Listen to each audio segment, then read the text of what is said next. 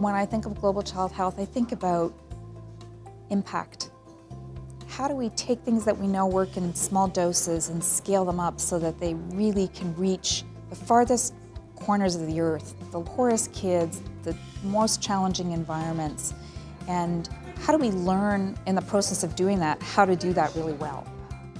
At SickKids, we think of the health of children, not the, just the children that are in our neighborhood, but the children across Canada, the children across the globe. We have tremendous expertise here, clinical research expertise, and it's about impact. It's about making sure that expertise reaches the farthest corners of the earth. That's what we're about at SickKids.